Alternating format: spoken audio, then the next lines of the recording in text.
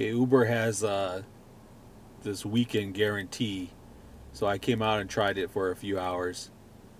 Uh, the guarantee basically states uh, $25 an hour guaranteed as long as you do 1.8 trips per hour. So um, that's what I did, but I'm stopping now because it's showing. I don't want to show you that. That on the 20th here, I've done six trips, and I figured, hey, you know what, downtown, maybe I'd get two quick ones, which I did. They were short, and uh, they haven't tallied it up to $25. I mean, it was like roughly six something combined, so I'm turned off. Fuck them, man. That's 25 bucks. So uh, I'm not going to do more until I see the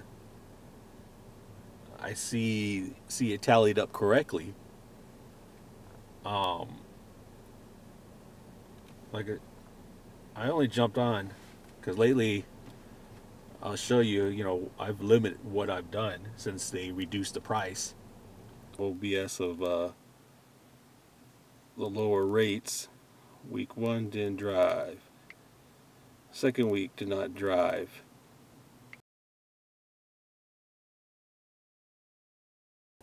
It's showing that it's getting hot, but again, around the airport, you've heard that's just a, a trick that they're using drivers, new drivers, because there's never you're never gonna get a surge out of the airport.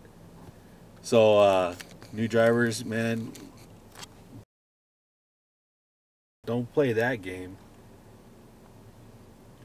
But yeah, it's funny. Like I said, even those short trips. We're going to talk about tipping again. Come on, throw in a buck. Uh-uh, I don't tip. You don't tip? No, I don't believe in it. You don't believe in tipping?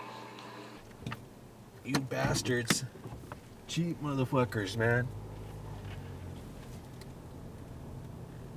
I don't even know a fucking Jew would have the balls to say that. Now, let- let me just get this straight. You don't ever tip, huh? I don't tip because society says I have to. All right, I mean, I'll tip if somebody really deserves it. Things are changing. You're going to get what you pay for. Look at these motherfuckers. Look Uber driver. Parks right in the freaking street. Downtown, that's why I don't work downtown.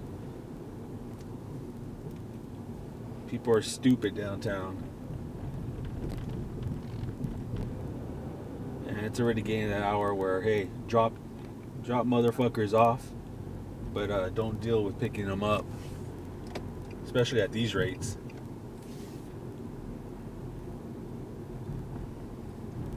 So until next time, tip your Uber driver.